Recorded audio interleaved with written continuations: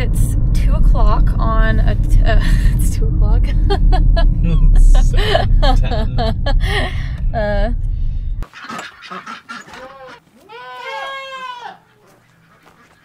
It's seven o'clock, 7 p.m. on a Tuesday, and we're on our way to Augusta, which is like an hour drive from our house to go pick up a new farm member.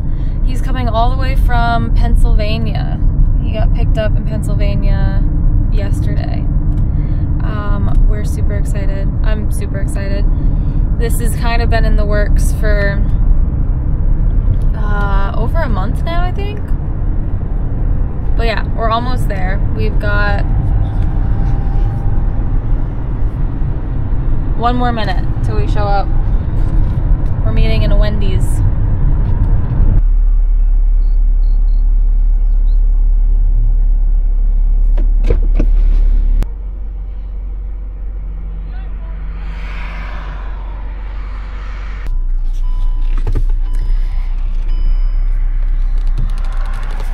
We got another buck. Just what we need. that makes three bucks on the farm now. This is a Never Fail Acre Buck um, out of Mocha Frappe. She's, oh man, she's got these really nice long milking teats.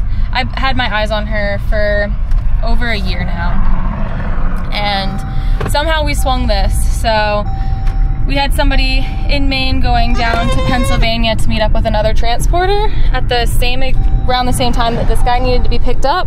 And uh, he is I think he's about four weeks old so he's still on a bottle.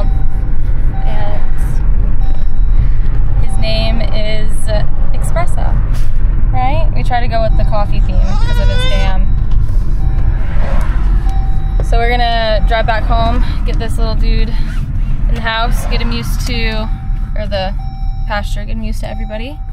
And yeah, I can't wait. I don't know if we'll use him for breeding this year. He's still kind of small, but next year he'll be breeding a bunch of girls for us. Yeah, we're gonna give him a shot. The little buck's doing great. He is so tiny compared to everybody else because he's like only four weeks old, so he's just a little tiny baby still. I was so excited to be done with bottle babies and now I have a bottle baby again that I'm feeding five times a day. He did not come with any of his CDT shots. His dam was not given her CDT shot either. So I'm going to give him his first CDT shot and then I'm also going to give him some probiotics because he definitely he's definitely stressed from the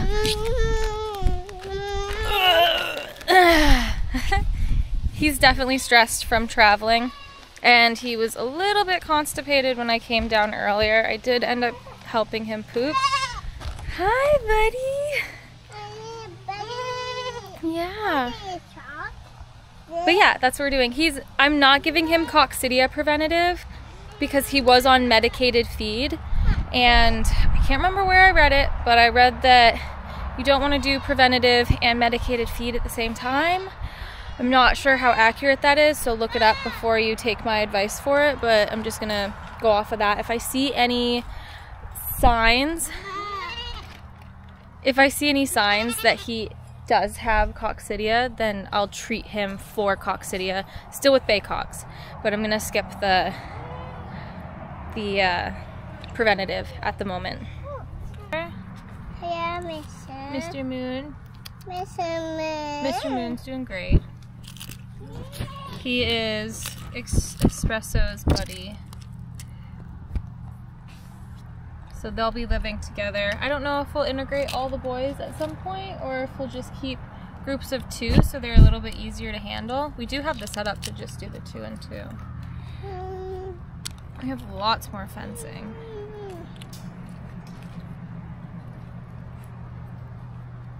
Alrighty.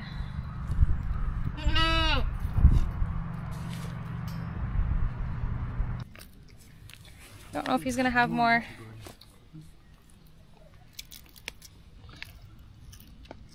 gonna be a pretty boy. Huh? Good urge. Uh, he was looking a little wiry. Yeah. I think everybody's kind of due for a, a copper bolus. And I don't think we've done any of the babies yet. So all the babies are due for copper bolus. And then you want to make sure that you really rub that area. We'll remember that we did it in the front right leg. So if he gets a lump, you know what it's from. And then I like to toast. So this is newborns one to two milliliters. I find it easier if I put stuff like this. Also, I do this with the um, selenium paste. I put it in a syringe so it's easier to get in their mouth. Mr. Moon, please stop. Oh, sorry. Was that scary? I didn't get it all in. I feel bad. Please stop messing with that. I don't have anything for you, dude. Oh, come here, buddy. I just want to get a little bit more. I know. I know. Oh.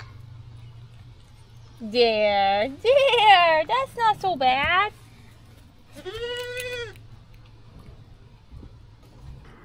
Poor little dude has had such a busy,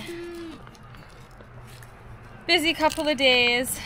He got picked up the day before yesterday in Pennsylvania, so he was on the road for about 24 hours, um, maybe even a little bit longer. Mm, but things are all calmed down now. I hope you don't act like your dad. We also put the little girls in with the big girls, and they've been doing really good.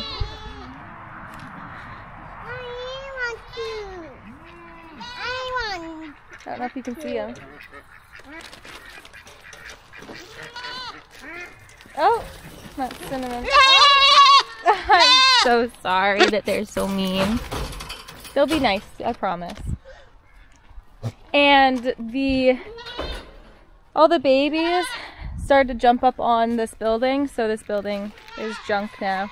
It's just covered in holes.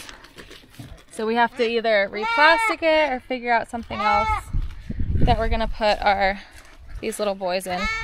So obviously if it rains, they're gonna get soaked. You coming out? It's Sunday. We've spent the whole entire weekend haying, which our next video will be all about haying and have a bunch of cool footage of the hay fields that we've done. Currently we have 280 bales and we've only done half of the field that we're haying. We still have two other small hay fields. This I think is a 15 acre field. We've got two other small five acre fields to do. I wanted to do an update on Espresso. He's doing great. We've had him for, when did we get him? Wednesday? I don't know. Anyways, we've had him for a few days. He's doing great. I think that I had clips of me giving him his first CDT, and then I also gave him probiotics because he was a little bit constipated when he first came here, which to be expected because traveling is really rough on animals. And then I noticed, I think it was yesterday, that he had runny poop. I'm going to do a little bit extra in here. So, runny poop could be a number of things. I do have a video on scours in goats that I'll link below and what I do to fix them. When it comes to little baby goats is a tiny bit different than what we do with our big girls, especially because the risk of, or the the likelihood of it being coccidia is a lot higher in baby goats and it's a lot more serious when baby goats have scours because they're tiny and their immune system is weak and you can just lose a baby goat really quickly. So instantly I gave him Baycox as a treatment for coccidia instead of as a um, preventative because he was not on preventative. He was eating coccidia treated grain, which we stopped when he got here because we don't we don't feed medicated grain to our goats. And so yeah, so we we gave him Baycox and the next day he was completely cleared up and he's been running around and acting fine and no more runny poop.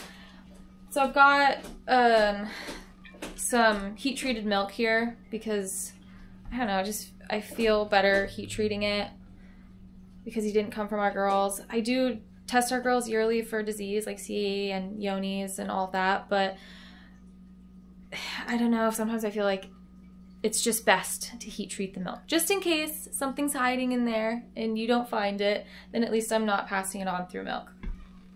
So heat treated milk for him. I'm giving him 12 ounces, I believe.